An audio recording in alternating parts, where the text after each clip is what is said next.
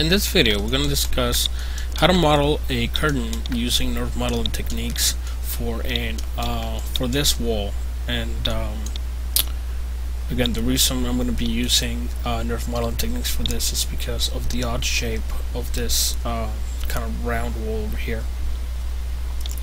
I could very well use uh, a cylinder but uh, I believe I can get a better result by using the NURB modeling techniques. So I'm going to start by going into the top viewport. I'm going to switch to wireframe. And uh, then I'm going to go ahead and select my uh, Bezier curve tool. Seems like I already drew something here. So do that. And I'm going to be using my Bezier curve tool. So I'm going to start drawing. Just along the window here. Okay, it looks like that's going to work pretty well. I'm going to go back into my perspective. Um, my curve was uh, drawn at zero here, and uh, notice that uh, the pivot point is still at the 000 location. So I want to make sure I actually center that pivot to my splines uh, for easier access then I'm just gonna move it up. Uh, I can go back into my top viewport maybe modify it a little bit.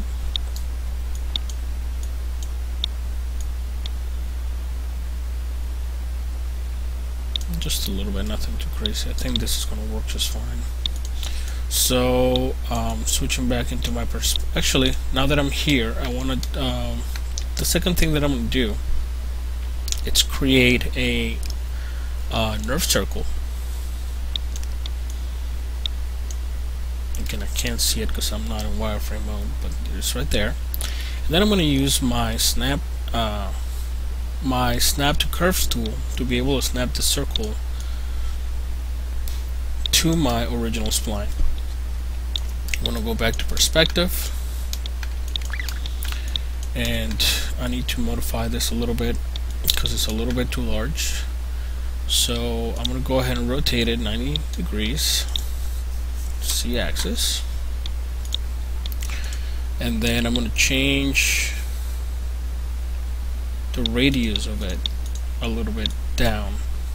Um, 0.1 perhaps. I think that'll do just fine. And so what's happening here is that I'm going to be using uh, this uh, NURB circle to define the shape of my NURB and I'm going to be using this line or this spline to define the path of it. So I'm going to select my shape, my path, and then go into surfaces and click on extrude. And then it's going to extrude a NURB across my path using the shape of the circle. Uh, next thing that I'm going to address is the fact that I'm getting a little bit of weird shade over here and again that's usually uh, due to lack of uh, geometry. So I want to go in here and add a couple of curve points. Uh, and again anything that I do to my curve is going to affect my surface. So I'm just adding a point there. I'm going to come here to the end and do the same thing. Something like that and then I want to go into uh, edit curves and insert those knots. And it just added a little bit of resolution there so I don't see uh, that being a problem. I can always move these points around. Uh, I'm just gonna leave it as is for the sake of the demonstration. I'm also having a little bit of a weird thing going on here. Uh, probably happened while I was drawing the curve. And again I can always come here and just fix it.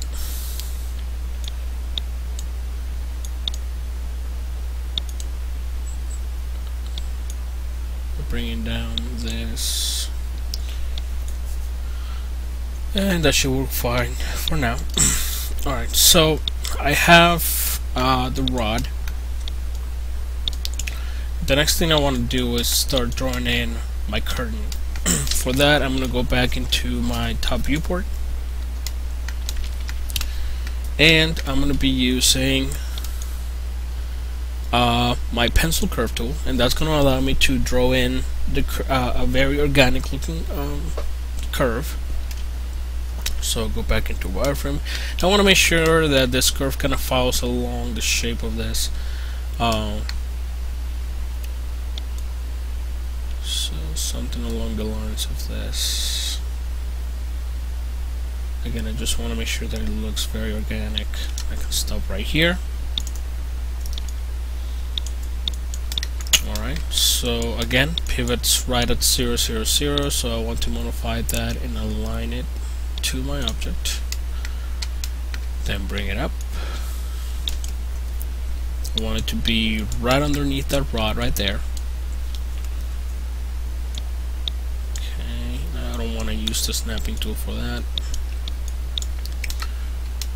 um, then I'm just gonna go ahead and do a duplicate of it bring it down I want to make sure it kind of covers the window a little bit then I'm gonna go ahead and select these two and loft them.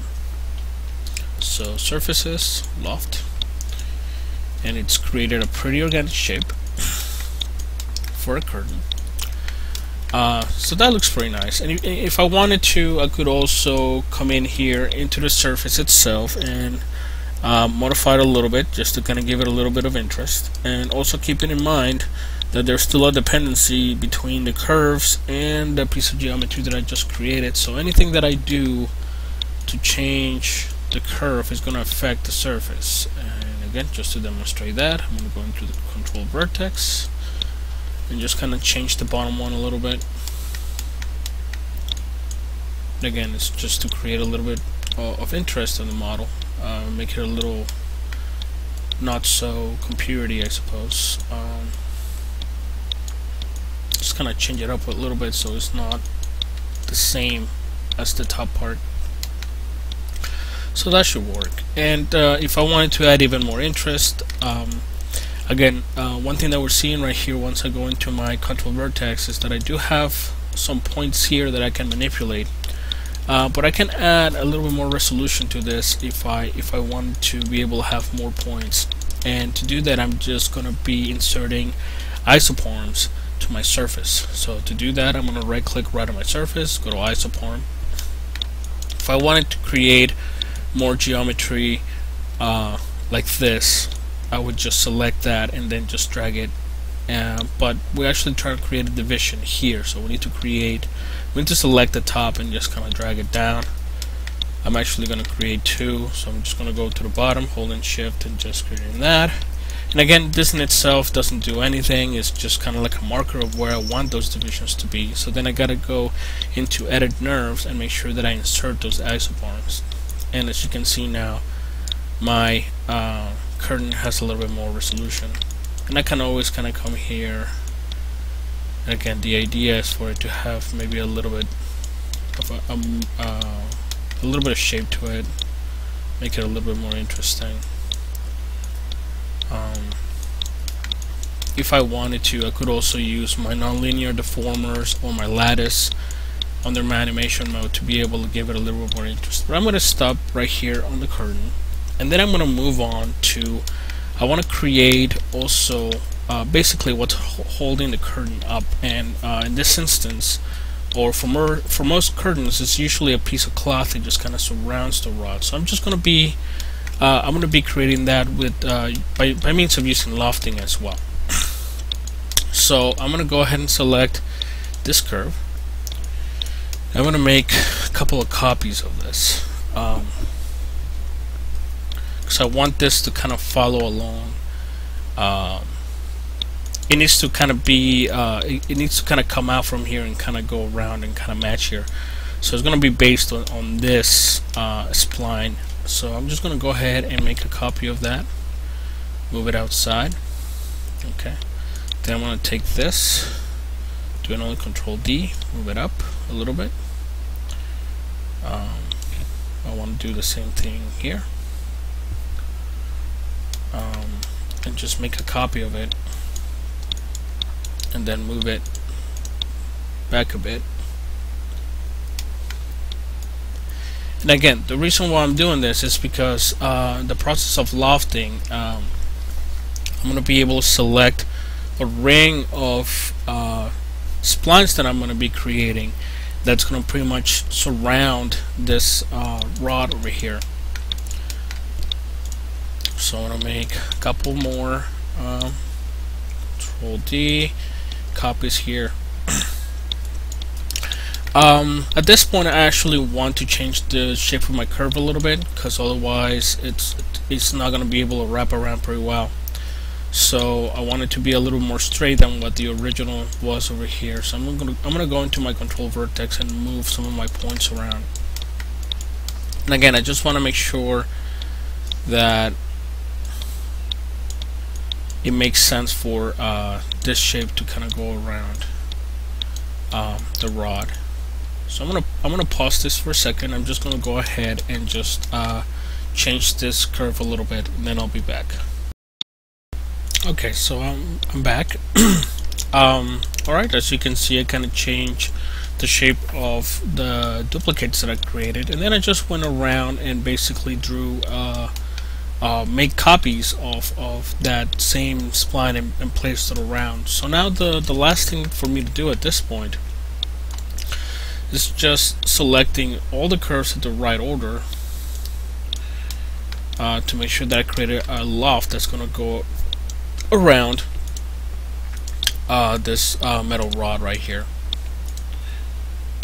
And I'm just gonna go ahead and select all the ones going around here and closing on this side. Okay, the last one is right there. Not that, but this one and again I started here and I selected it all the way around until I finish with the one that I copied initially then I want to go to surfaces and loft and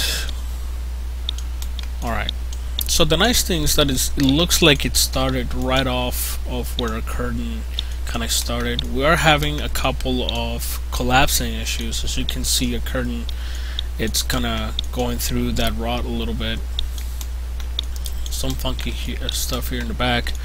Uh, but again, something that you can kind of solve directly. I mean, you don't have to undo it and just kind of uh, redo it again. You can always just edit the curves here and it'll affect the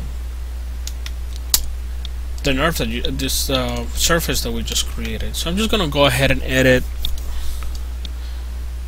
these curves a little bit. And again I want to make sure that I'm selecting only either the curves. I can actually also go locally into this surface that I just created and move some points around but I, I think it's a little better if I actually go into the curves themselves and make some changes uh, locally there. So let's just move some stuff around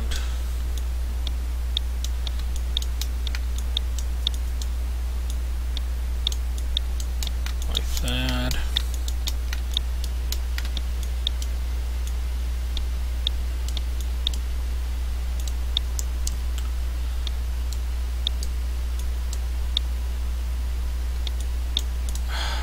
Alright, let's trying to get to the control point here so I can I can just edit this. Maybe it's better if I just go into a wireframe mode and just select it directly does seem to work a little better.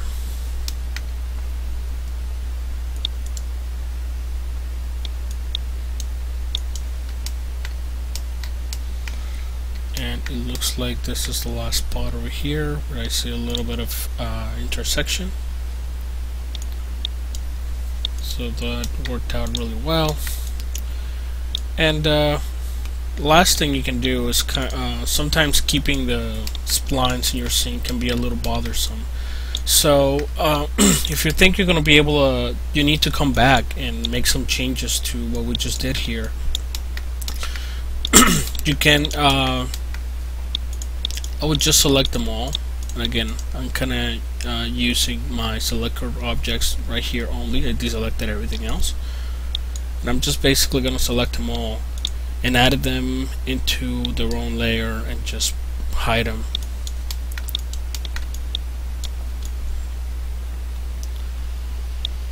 and okay now we have a curtain for a room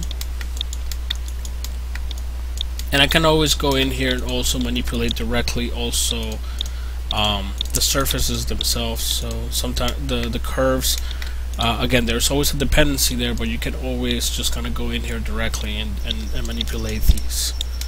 Um, so again just to uh, uh, reiterate everything that we just uh, did. We basically created a curtain rod by using a a uh, spline with the shape of the wall over here and then I created a circle spline and uh, I utilized surf extrude and by doing that uh, it extruded on the shape of the circle along that spline and then I used my pencil Bezier to create this interesting kind of looking uh, um, cloth pattern for this um, um, curtain then I made a copy of it and I lofted it. I also show you how to insert isoparm so you can go in there and add a little bit more interest to your model make it a little bit uh, uh, more appealing. And lastly we ended up using lofting to be able to create this piece of cloth kind of going around uh, the rod as if uh, as the part of the cloth that's supposed to be holding the whole curtain together um, alright that covers that and I hope this was helpful. Thank you